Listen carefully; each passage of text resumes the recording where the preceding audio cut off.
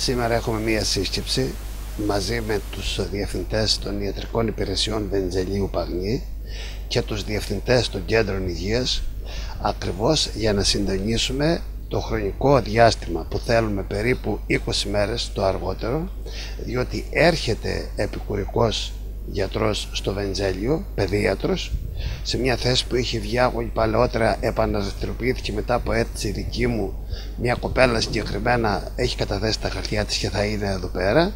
Έχω ζητήσει άλλους δύο επικουρικούς για το Βεντζέλιο οι οποίοι και αυτοί είναι στη διαδικασία της προκήρυξης περίπου 20 ε, μέρες το αργότερο είναι το δύσκολο, 15 με 20 μέρες το δύσκολο χρονικό διάστημα, γι' αυτό κάνουμε σήμερα τη σύσκεψη.